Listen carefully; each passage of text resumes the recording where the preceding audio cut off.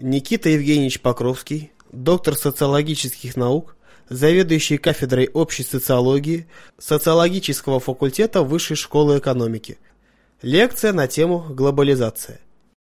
Глобализация – это одно из самых известных, популярных широко обсуждаемых понятий э, в нашем мире. О нем знает каждый человек, практически любой школьник, человек с улицы. Оно часто звучит по радио, по телевидению, э, печатается в газетах и вызывает самые различные эмоции. Одни связывают с ним светлое будущее человечества, в кавычках, другие, наоборот, видят в нем самые различные пороки наших дней, э, черное будущее. Э, как разобраться в этом? В чем смысл этого понятия? Этому будет посвящен сегодня наш разговор. Глобализация э, сродни таким понятиям, как история, цивилизация, эпоха, прогресс, современность, постсовременность. Это одно из самых универсальных, крупных, больших, многогранных понятий. Подобная универсальность, между тем, может таить в себе известную проблематичность. А существует ли глобализация вообще? А быть может это какой-то фантом, выдумка социологов, э, желание придумать теорию при отсутствии реальных фактов. Вот и поговорим сегодня об этом. Для каждого человека совершенно очевидно, что э, наш мир э, неважно в какой части земного шара мы живем, бурно меняется. Раздвигаются границы государств, информационные потоки пронизывают сейчас всю нашу жизнь. Мы живем в состоянии онлайн, то есть в открытом, прямом информационном контакте с теми событиями, которые происходят в самых отдаленных частях земного шара, мировая политика, изменение финансовых рынков э, касается сейчас практически каждого человека, вне зависимости от того, где он живет. И это лишний раз подтверждает истину, которая выражается в известной английской фразе «The world is so small», Наш мир такой маленький. Он совсем не маленький, по сути, но становится все меньше и меньше. Все уголки его становятся доступными, известными.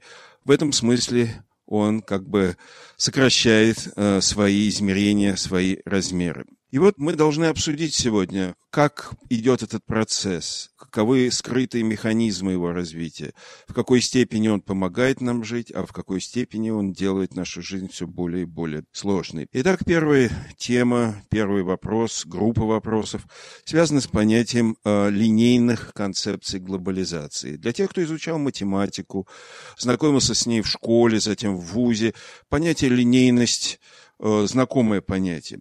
Это э, понятие, которое определяет параметры каких-то изменений, изменяющихся количественно, нарастающие параметры их варьируются, но в качественном отношении они остаются неизменными. Глобализация действительно э, приносит линейные, то есть количественные изменения по основным параметрам. Прежде всего, это экономические параметры того мира, в котором мы живем. Современная глобальная экономика связана с таким явлением, как э, возникновение, расширение и укрепление транснациональных корпораций так называемых ТНК. Что это такое? Это старые большие производства, серьезные отрасли промышленности, хозяйства, которые э, сейчас концентрируются, укрупняются, захватывают все новые и новые пространства в экономике государств. И что особенно важно, выходят за границы этих государств мы сталкиваемся с удивительным явлением, когда так называемые транснациональные корпорации ТНК начинают вытеснять те государства,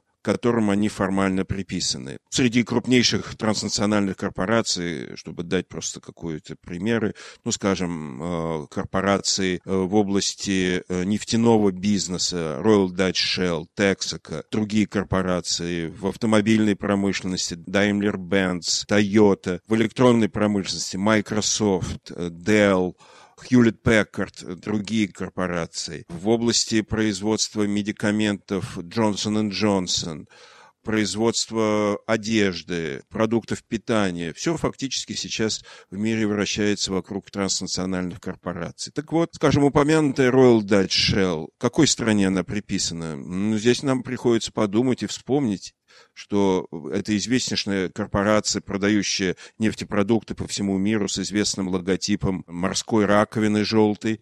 У нее бензоколонки, заводы и э, другие производства. Она приписана к очень небольшой стране Голландии, поэтому называется Dutch, то есть голландская, Royal Dutch Shell, королевская голландская компания. Так вот, э, годичный оборот э, средств Royal Dutch Shell в четыре раза превышает годичный бюджет Голландии. В каком смысле? Кто кого содержит? Royal Dutch Shell своими налогами содержит Голландию, э, либо Голландия управляет Royal Dutch Shell? Нет, конечно. Транснациональная корпорация мощно выходит за рамки государства и фактически становится транснациональной. Речь идет не только об экономике в чистом виде, речь идет и о человеческих ресурсах, менеджерах, которые управляют этими компаниями. Офисы Royal Dutch Shell, Microsoft, Hewlett Packard особенно, э, других компьютерных фирм рассеяны по всему миру. В них работают представители всех стран на самых различных уровнях иерархии этих корпораций. Производство кочует по всему миру, потому что изобретать компьютеры и программы, быть может, выгодно в одном месте, либо собирать их по электронным сетям из разных частей, из разных регионов мира. А производить конкретно программы, быть может, выгодно в самых отдаленных странах, где труд дешевле, э, чем в странах Европы и Северной Америки. Так вот, эта система рождает и новую систему менеджеров э, компании. Это люди в значительной степени уже глобализированные. Их семьи, сами эти люди кочуют по всему миру. Передвижение по миру для них представляет такую же сложность, как для нас, жителей, скажем, большого города, использование метро, Э, трамвая. То есть, конечно, надо приложить какие-то усилия, но, с другой стороны, все так автоматизировано, что скольжение по глобальному миру с гостиницами, конференц-залами, посещениями производств э, фактически происходит еженедельно.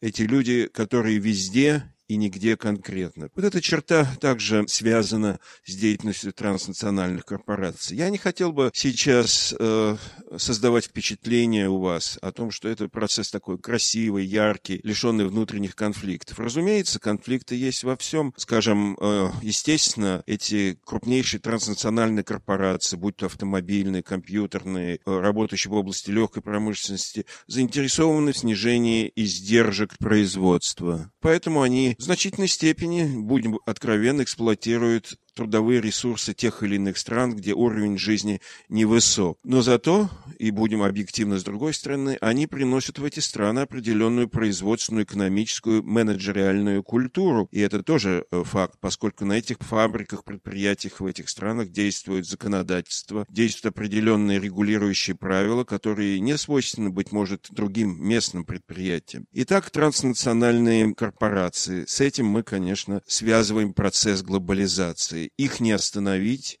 они идут дальше, это мощнейшие силы локомотива современной мировой экономики, мировых рынков. Наряду с этим экономическая глобализация, линейная глобализация, связана с таким явлением, как финансовые рынки. Мировая финансовая система в, современном, в современной цивилизации целиком зависит от котировки акций, от э, котировки валют различных. Поэтому даже по радио, скажем, в Москве, в других российских городах Э, утром передают котировки акций, валют. Зачем же нам это знать? Мы же не экономисты. Тем не менее, это влияет и, скажем, на наши вклады, на перенос валюты из доллара в евро или наоборот. Все это касается практически, если не всех, то достаточно больших слоев населения. Финансовые рынки испытывают кризис или, наоборот, подъемы. Это сказывается на таком явлении, как инвестиции в экономику различных стран. Короче, мы сейчас закольцованы, имею в виду прежде всего Россию, закольцованы в эти связи. Мы не можем себя отгородить от финансовых рынков, и это тоже символ глобализации. И, наконец, третий важнейший параметр экономической линейной глобализации связан с миграцией рабочей силы.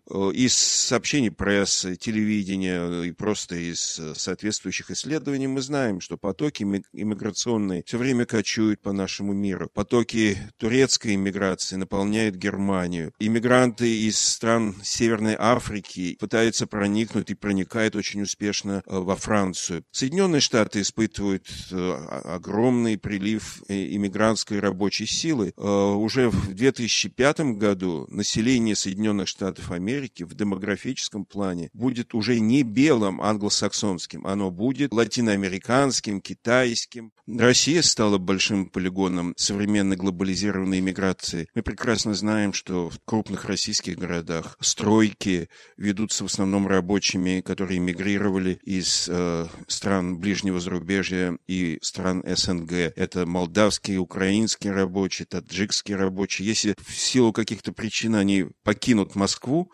то я полагаю, что все стройки Москвы э, замрут мгновенно, а также э, замрут московские рынки, система торговли, которая насыщена иммигрантами с Кавказа и из других стран.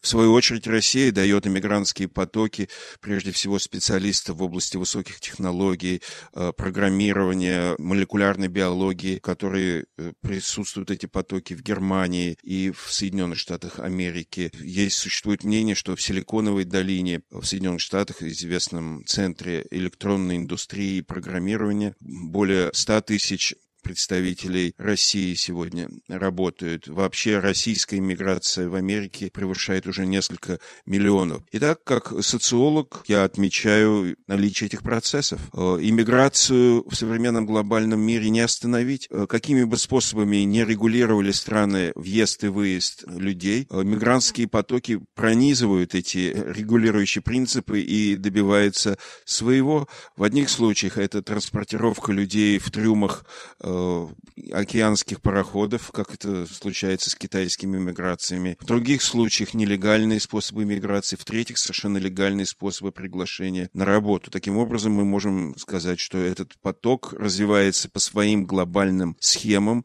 по своей глобальной логике, и он также характеризует наш мир. Итак, э, перед нами только что прошли транснациональные корпорации, финансовые рынки и миграционные потоки. И эти факты совершенно очевидны, они обсуждаются обсуждаются, исследуются. Но вот э, здесь мы сталкиваемся с любопытным и, можно сказать, первым парадоксом в нашей теме. А состоит он в следующем, что специалисты, которые исследуют эти явления, э, отмечают их, очень редко ставят чисто социологический вопрос.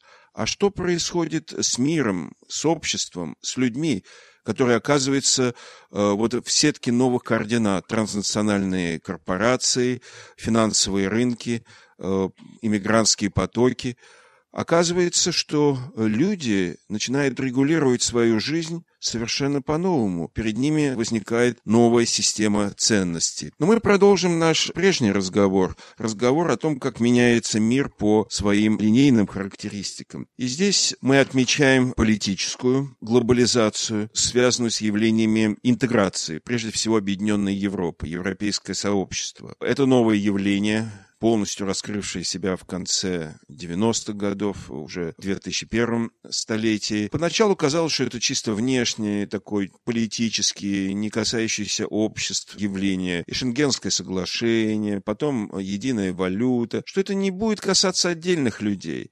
Мы видим, что первоначальные ожидания не оправдали себя. Европейское гражданство, европейское сознание, умение сохранить свою культуру, язык и вместе с тем почувствовать себя гражданином Европы. Вот то новое, с чем мы сегодня сталкиваемся.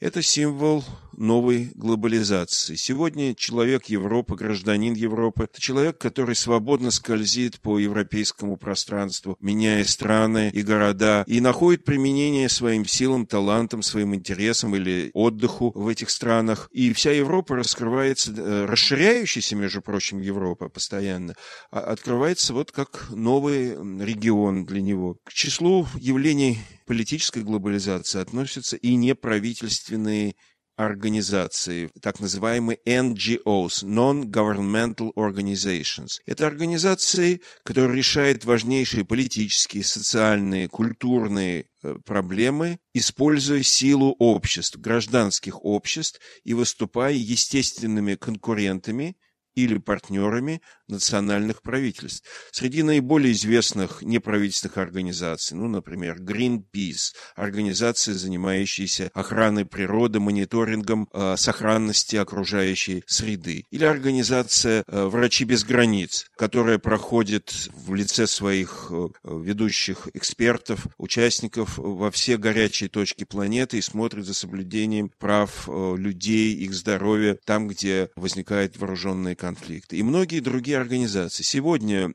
при Организации Объединенных Наций, ООН, зарегистрировано официально, зарегистрировано более 5000 неправительственных организаций во всех сферах э, жизнедеятельности общества. Это огромная сила. И не надо думать, что неправительственные организации – это организации, которые состоят из нескольких членов, ютятся в подвалах. Многие неправительственные организации могут конкурировать с э, транснациональными корпорациями по мощи, наличию большого аппарата и бюджетом своих организаций организации. И тем не менее, они не правительственные, они не подчиняются ни одному из существующих правительств на Земле. Это новая реалия. Итак, мы обратили внимание и на изменения в политической сфере. И, наконец, еще одна очень важная сфера информации и культуры. Глобальные средства массовой информации, СМИ, э, прежде всего электронные. Э, CNN, ведущая американская компания телевизионная, вещает на 80% населения земного шара глобальные телевизионные каналы, радиоканалы сейчас охватывают все регионы мира. На повестке дня встает глобальное вещание спутникового телевидения, когда уже не надо будет создавать огромные и очень в значительной степени неповоротливые телевизионные каналы, а когда вещание будет вестись спутников по весьма доступным ценам для тех, кто готов подготовить программы и поднять, как это говорится, на, на спутник.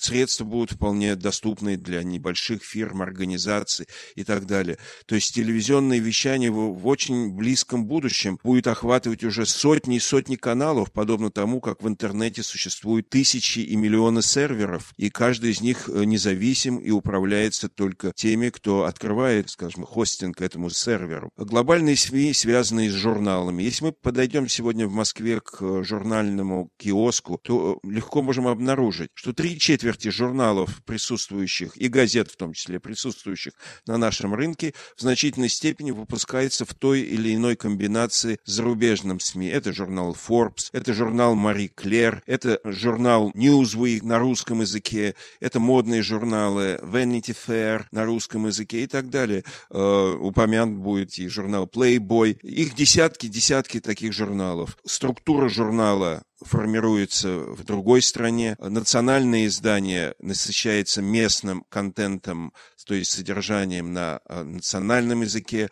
Э, статьи как глобального содержания, интернациональной, так и местного содержания. И, он, и тот или иной журнал издается не только на русском языке, скажем, или там английском, русском, но и арабском, немецком, итальянском, французском и многих-многих языках. То есть эти журналы, иллюстрированные журналы, а также газеты, Finance Financial Times, International Herald Tribune, New York Times э, и многие другие, они фактически становятся глобальными средствами массовой информации. В этом ряду, отнюдь не последним по счету, должен быть упомянут интернет. Вот прообраз действительно информационной глобализации. Это интернет. В чем его особенность? Особенность его состоит в том, что каждый сервер, как я уже говорил выше, интернета фактически независим. Наложить цензуру, ограничить информационные потоки в интернете крайне трудно, практически невозможно. Как только закрывается один сервер, он совершенно магическим образом возникает с другого хостинга, с другого сервера и продолжает э, его участие в информационных потоках. Конечно, интернет — это образ всей современной глобализации. К этому мы, конечно, можем добавить в качестве иллюстрации, например, спорт. Разве можем мы сейчас представить спорт исключительно в национальных границах? Э, ну, нам, русским, особенно это хорошо известно. Что такое российский хоккей сегодня?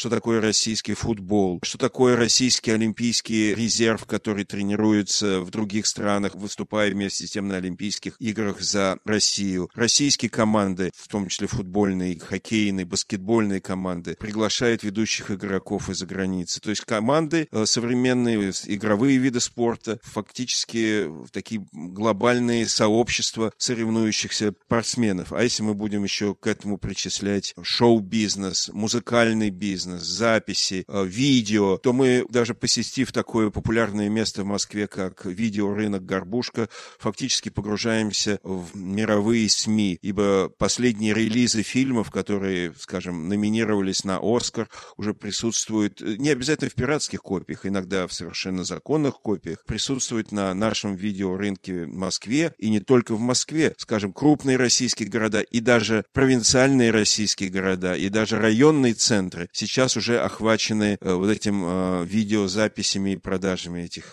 совершенно новейших копий.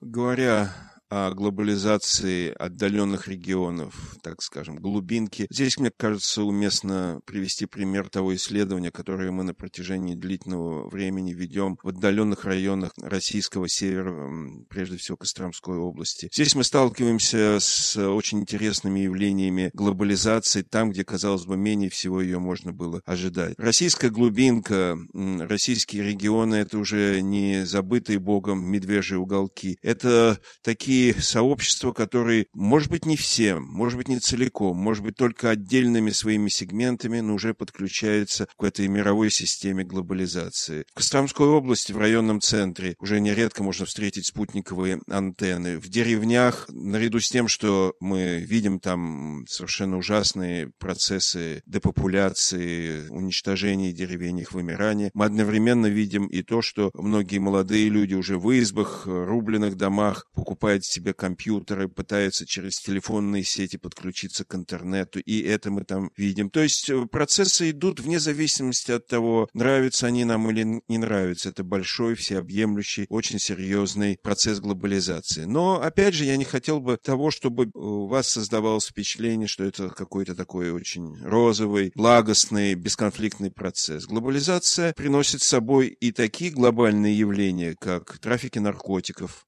которые по своим путям идут из Афганистана, из стран Латинской Америки, из стран Юго-Восточной Азии. Часто трафики идут через Россию, э, идут в Западную Европу, в Северную Америку. И эта карта глобального распространения э, наркотиков хорошо известна. Отдельные государства не могут закрыть границу, ибо вы не можете проверить все грузы, которые пересекают границы, все океанские пароходы, которые швартуются в национальных портах совладать с э, наркотиками в глобальном масштабе могут только объединенные силы всего человечества. Это касается и экологических проблем. Любое экологическое изменение в том или ином регионе земного шара тут же сказывается на других регионах. Это прежде всего глобальное потепление. И вы знаете, что Киотский протокол как раз и квотирует, то есть ограничивает выбросы тех или иных государств, промышленности, их воздух, теплого воздуха, отходов э, производства поскольку неограниченные выбросы могут привести к необратимым изменениям климата на Земле. Это касается Мирового океана. Отравление его в одном регионе неизбежно скажется на благополучии экологического баланса в другом регионе. К числу глобальных э, проблем относится и распространение болезней, скажем, болезни СПИДа, туберкулеза. Казалось бы, подавленный туберкулез в одном регионе мира, он сквозь невидимые поры проникает во все другие страны. Это касается, конечно, чумы 21, 20-21 века, э, иммунодефицита, то есть э, СПИДа. А преступность, э, организованная прежде всего преступность, она также носит сейчас глобальный э, характер. Э, мы хорошо знаем, что, скажем, преступность в России, прежде всего экономическая преступность, отмывание средств, увод их в офшорные зоны был бы абсолютно невозможным, если бы границы государства были закрыты. А поскольку закрыть их уже не представляется возможности, то все криминальные экономические явления в России очень тесно связаны с э, мировыми э, банками, офшорными зонами и так далее. Это единая сеть криминала в области так называемого преступления белых воротничков. Таким образом, мы видим, что наряду с э, позитивными функциональными сторонами глобализации присутствуют и стороны разрушительные, дисфункциональные. И это как раз подводит нас э, к следующей мысли. Да, это линейная глобализация, то есть она создает новые явления, расширяет старые явления, превращая их в явления совершенно другого масштаба. И вот когда мы сложим вместе все вот эти линейные линейные параметры тех процессов, э, участниками и как минимум свидетелями, которыми мы становимся, а именно экономическая, политическая глобализация, глобализация в области информации, культуры и, наконец, глобализация разрушительная, то возникает один очень большой, очень серьезный вопрос. Неужели мы можем подумать, что соединение всех этих процессов, их тесное переплетение, нарастание самых различных параметров этих процессов может остать нетронутым мир конкретного отдельного человека или малого сообщества. Неужели мы сегодня можем жить старыми представлениями, старыми понятиями и старым знанием и быть уже частью вот этой новой системы э, глобальных координат? Вопрос отнюдь не риторический, хотя, в общем-то, в каком-то смысле риторический, поскольку, конечно, ответ на него напрашивается сам собой. Нет, не можем. И это подводит меня к очень важному для меня лично выводу, с которым, я надеюсь, можно согласиться, и я бы сказал, следует согласиться, но и вывод, который можно оспорить в известном смысле.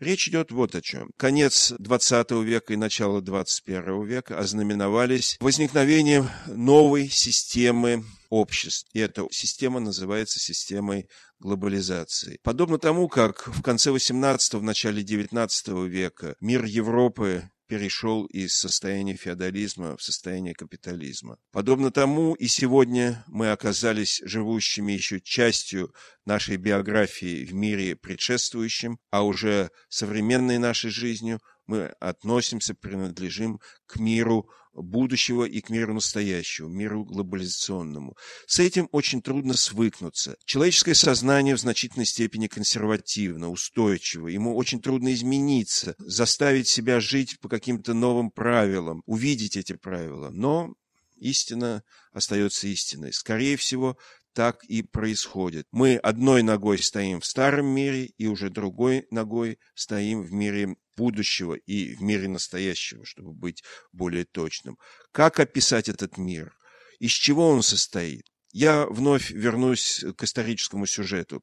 Если мы почитаем воспоминания современников Великой Французской революции, познакомимся с перепиской и личными документами участников наполеоновских войн и историков, которые изучали наполеоновские войны, будучи современниками этих явлений, никто из даже самых умных людей той эпохи, никто из наиболее глубоких аналитиков, живших в те годы, не мог и подумать, что человечество переходит переходит в новое состояние. Разговор всегда велся в основном о том, о новых политических лидерах, о революциях, о казнях, о войнах, о новых избирательных системах, о перераспределении собственности. То есть фрагменты были переданы абсолютно верно и очень интересно, но фрагменты никогда практически не складывались в большую мозаику, мозаику того, э, которую смог открыть только Маркс, после Маркса и великий немецкий социолог Макс Вебер, они только поставили вопрос о том, что мир э, в XIX веке пришел в состояние капитализма со своими очень жесткими и всеобщими, я бы даже сказал, тоталитарными правилами. Так и сегодня, на мой взгляд, ни один человек или не скажет, что да,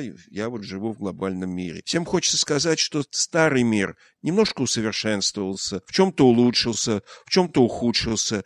И дискуссии, обсуждения и, более того, переживания всегда вращаются вокруг вот этих микроизменений. Что стало лучше, что стало хуже. Посмотрите наше телевидение, ток-шоу, политические дискуссии, которые ведутся по телевидению или там печатаются интервью с известными людьми в нашей прессе. Да, речь идет о микроизменениях, как лучше устроить избирательную систему, какие политические деятели, как устроить строить, скажем, ЖКХ, реформу в России или там, скажем, пенсии. Все кажется, мы улучшаем или ухудшаем наш старый мир. А фактически, с моей точки зрения, мы живем уже в совершенно новом мире.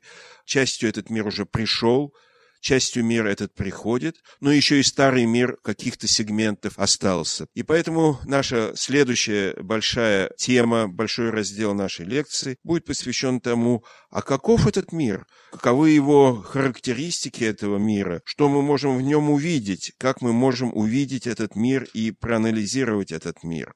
Э, прежде всего, я хотел бы сказать, что к числу главных характеристик этой глобализации относится то, что она пронизывает все клетки общества. Вот в первый раз в нашей лекции прозвучало понятие клетки общества. Ну, понятие клетки – это понятие биологическое в значительной степени. Что же иметь в виду в социологии под клетками общества? Ну, я думаю, что мы можем продолжить эту не абсолютно верную, но достаточно э, наглядную э, иллюстрацию связывающие жизнь общества и жизнь человеческого организма. Общество имеет большие структуры. Это экономика страны, политическое управление, культура страны. Это то, что связано с институтами общества, политики, экономики, права, культуры, спорта, армии, науки и так далее, и так далее.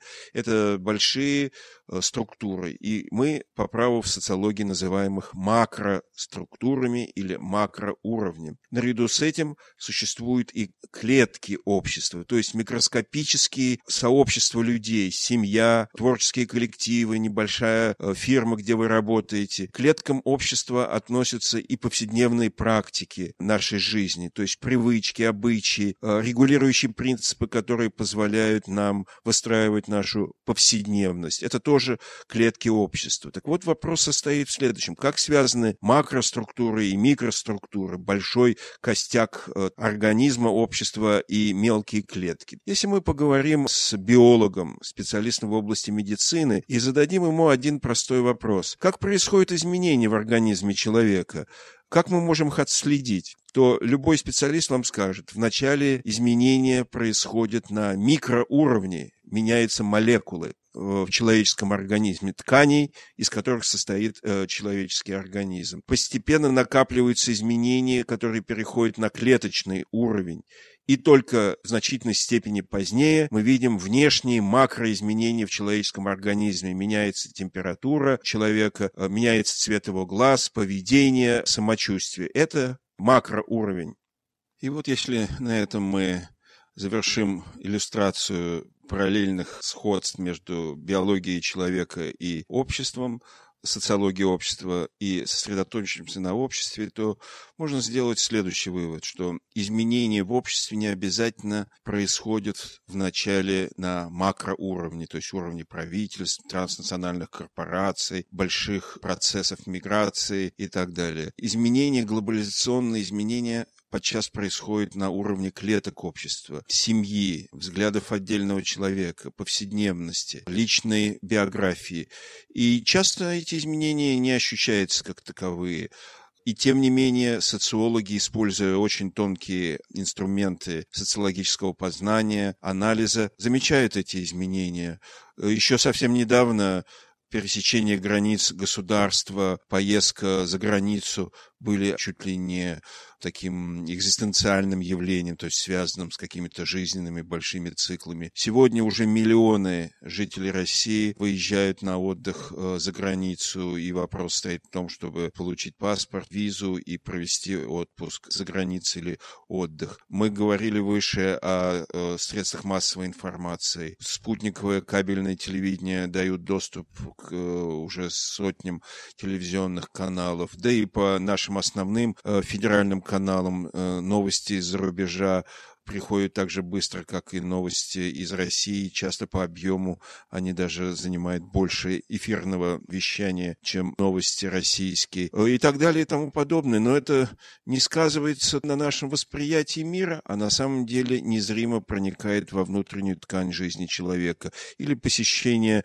скажем, для примера, продовольственного магазина, супермаркета, да даже самые э, незначительные лавки, так сказать, продовольственные в нашем квартале. Посмотрите на упаковку товаров. Откуда эти товары пришли? Фрукты, овощи, какие-то эксклюзивные товары. Ну, не помянут будет в студенческой аудитории э, напитки алкогольные, да и напитки безалкогольные. Пепси, Кока-Кола, Спрайт и так далее. Все это э, международные напитки, их, их десятки десятки, их сотни этих напитков. И это также капля по капле бит by бит, то есть кусочек за кусочком, меняет внутренний мир человека и внешнее его поведение. Одежда. Если сейчас э, мы посмотрим на те ярлычки, лейблы, как их называют, которые пришиты с внутренней стороны наших пиджаков. Неважно, где сделан этот пиджак, это может быть и аутентичный, то есть настоящий пиджак от Ральфа Лорена, американского и глобального дизайнера, а может быть и тот же ярлык, сделанный нелегальным образом в Рязанской области.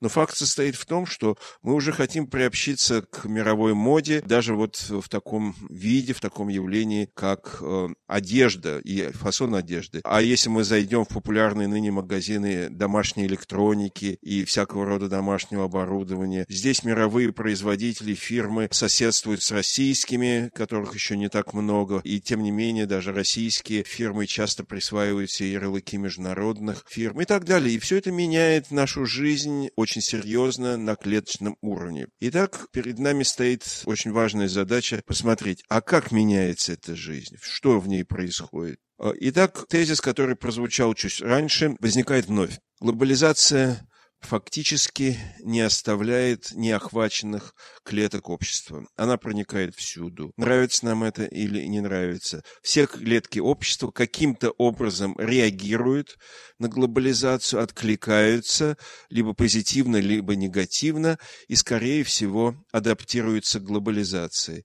А, здесь я позволю себе, а, упомянув э, понятие адаптации, то есть приспособления, сослаться на известное великое высказывание э, Чарльза Дарвина.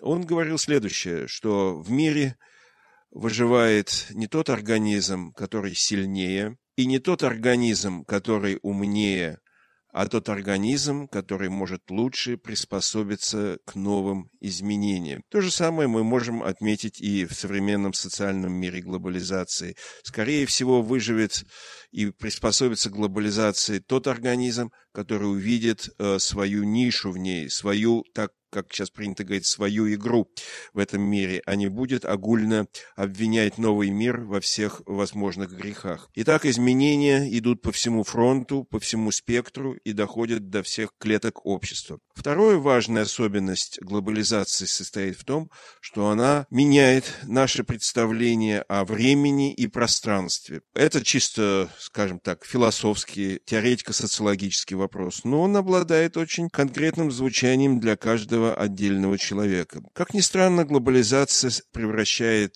всемирное, осевое историческое время э, во время индивидуальное, фактически касающегося каждого отдельного человека. Сегодня молодежь, да и не только молодежь, очень часто использует понятие «проект», проект Земфиры, который записывает новый диск, проект научный, проект поездки в какой-то регион для занятий экстремальным видом спорта. Часто даже дружба между людьми или создание семьи тоже называется проектом. А что это значит? Проект – это короткий период времени, который связан с индивидуальными интересами того или иного человека. Современный человек сам создает свое время. Он знает, что оно краткосрочно, ибо на короткой дистанции надо реализовать конкретные жизненные цели с тем, чтобы после окончания проекта выйти на новый рубеж и создать новый проект. Говоря серьезно, 19 и 20 век создавали длительную перспективу человеческой жизни, когда в самом начале жизни, в отрочестве, в юности можно было приблизительно предполагать, как будет проходить жизнь и чем она закончится, если соблюдать те правила, которые тебе предоставляет общество. Макс Вебер называл это понятием «беруф»,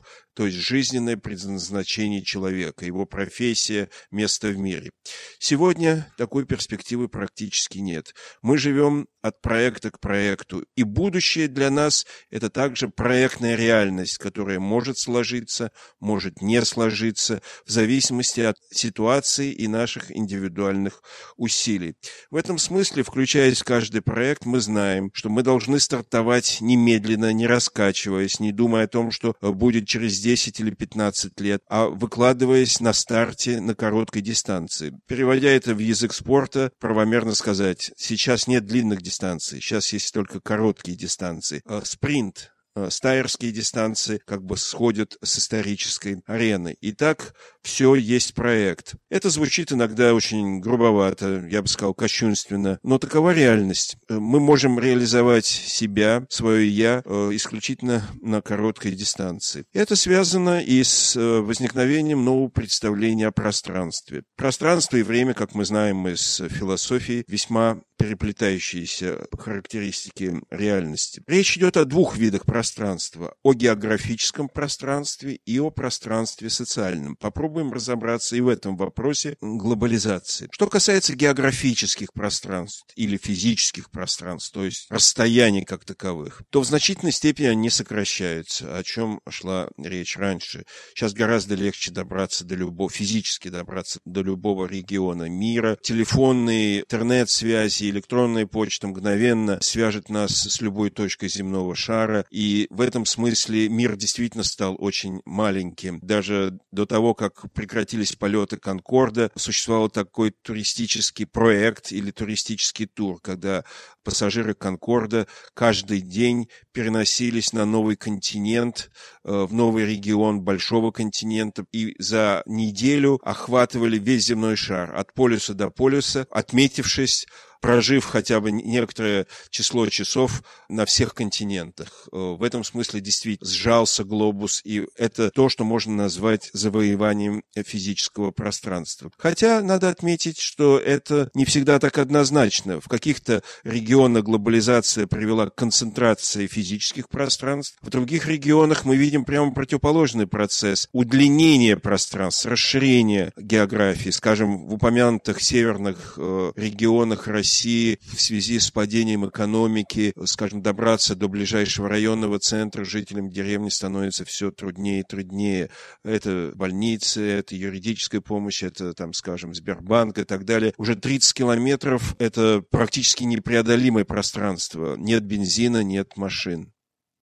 Физические пространства отнюдь не равны пространствам социальным, так как их понимает социология. Социальные пространства в социологии – это пространство, объемы, заполненные конкретной человеческой деятельностью. Это тот мир, так сказать, ценностей, норм, отношений, в котором мы действуем. Это понятие в таком его формате, виде восходит э, к теории Петерима Сорокина, выдающегося российского американского социолога. Так вот, пространство социальное также чрезвычайно серьезно видоизменяется под воздействием глобализации. Если в предшествующих э, глобализации обществах э, в социальных пространствах доминировало направление вертикальное, снизу вверх, то есть э, иерархии, мы все время ориентировались на высшие этажи в иерархиях общества, ну, грубо говоря, на наше начальство. То есть те этажи здания общественные, которые находятся над нами. И жизнь текла по вертикальным этажам, сверху вниз и снизу вверх то глобализация в этом отношении значительно меняет картину социального мира. Можно сказать, что небоскреб социальной иерархии в каком-то смысле упал, и доминирующим становится горизонтальное измерение социальных процессов. А что это такое? Э, горизонтальное измерение – это возникновение связей между людьми, находящимися на одном уровне социальных иерархий. Это сетевые связи, которые объединяют тех, кто находится на одном этаже. Поскольку социальные процессы приобретают глобальный характер, это придает им характер процессов, аккумулирующих очень большую энергию, экономическую, то есть, грубо говоря, деньги, связи, э, информацию и так далее. И в этом смысле перед каждым человеком, э, организациями, малыми группами встает э, вопрос, следует ли ориентироваться на вертикаль, либо попытаться реализовать себя в горизонтальных связях сетевых сообществ. Сетевые сообщества – это сообщества, напоминающие э, рыболовную сеть. При этом каждый узелок сети – это отдельная организация или человек. А ниточки, которые связывают э, эти узелки, это устойчивые, повторяющиеся, скажем, наигранные связи, которые объединяют вот эти э, узелки, то есть организации. И вот возникает вопрос. Идя по сети, идя от одного одного узелка к другому, то есть от одного человека к другому или от одной организации к другой, который находится с тобой на одном уровне, представляет твой мир ценностей, интересов, профессиональной подготовки или, скажем, там других характеристик, оказывается, можно э, саккумулировать гораздо больше ресурсов, информации, чем ежели идти по вертикали, пробиваться сквозь этажи вверх. Это явление исключительно связанное с глобализацией. Вот такую сетевую конструкцию общества и ее значимость подчеркивает и разрабатывает э, известный американский и испанский социолог Мануэль Кастельс э, в серии своих книг, многие из которых э, переведены на русский язык. Итак, глобализация приносит сетевые структуры, оживляет их и их активизирует. Мы в каком-то смысле сталкиваемся с картиной мира, пространства, которое напоминает качан капусты. Э, вот эти листья капусты – это уровни мировой глобальной структуры. Каждый уровень живет своей жизнью, в нем господствуют сетевые связи, происходит сгущение экономических ресурсов, это фонды, это программы, в которых мы можем получить ресурсы для реализации своих проектов. Что же касается вертикальных уровней, то на каждом другом, более высоком или более низком уровне существуют свои сетевые структуры. Как соотносятся эти структуры, если между ними горизонтальными уровнями взаимодействия? Да, взаимодействие бесспорно есть, и происходит движение там вверх или вниз, то есть то, что мы называем вертикальной мобильностью. Но, тем не менее, надо сказать, что в данной картине мира преобладает горизонтальная мобильность, то есть желание идти дальше и дальше по сети для аккумуляции э, социальной энергии. Глобализация, вот эта картина э, мира, которую она приносит с собой,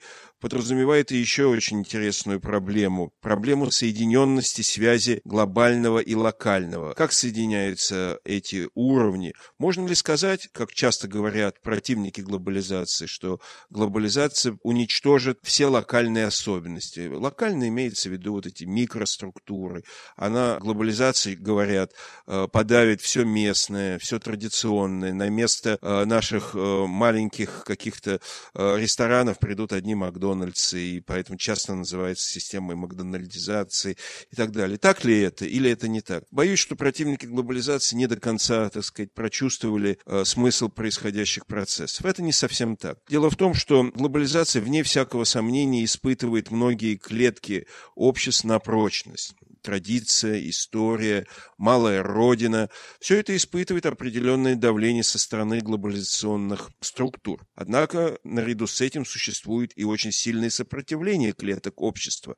Только в данном случае клетки общества не стремятся разрушить вот эти давления глобализации напрямую, в прямом контакте. Напротив, они ищут силу сопротивления – как раз в горизонтальных структурах. Попробую проиллюстрировать это на примере. Скажем, какие-то глобальные фирмы или корпорации пытаются захватить тот квартал, в котором вы живете, прожили жизнь вы и ваши родители, скажем, в центре Москвы. Довольно типичная ситуация. Они хотят вас выселить, э, дома превратить в офисы, и это реально травмирует вас, как нормальных живых людей.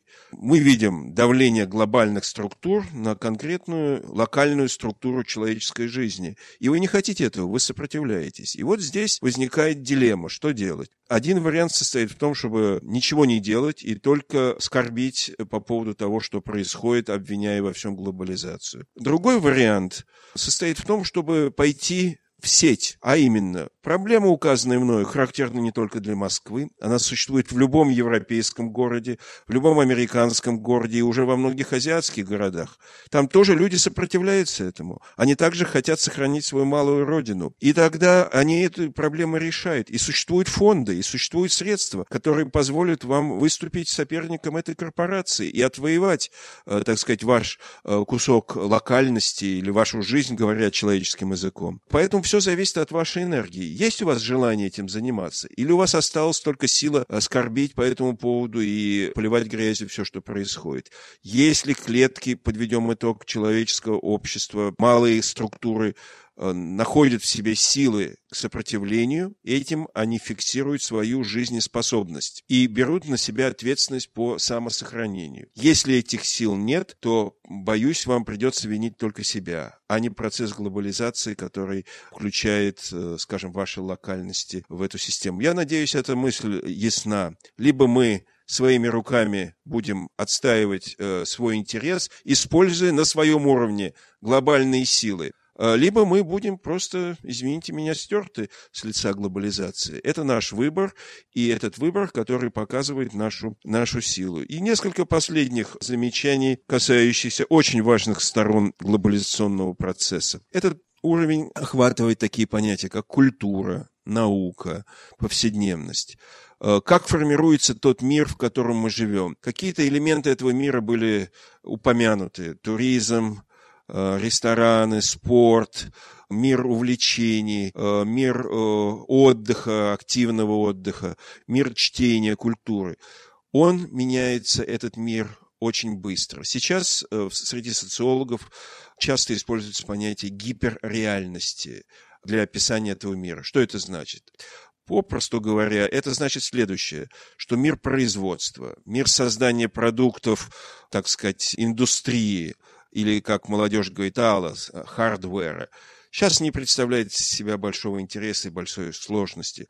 Вопрос состоит в том, что мы сделаем с теми продуктами, которые произведены, как мы их потребим, ибо возможности потребить использовать их для своей жизни, освоить их гораздо больше, чем наличных сил у каждого человека. Посмотрим э, на компьютерный мир программ. Разве мы можем охватить все программы, которые произведены, э, все видеодиски? Можем ли мы охватить всю киноиндустрию? Можем ли мы прочитать все книги? Можем ли мы прослушать все музыкальные диски? И поэтому перед каждым из нас встает вопрос, как мы будем этот мир охватывать, как мы будем реализовать себя через э, то, что мы будем потреблять.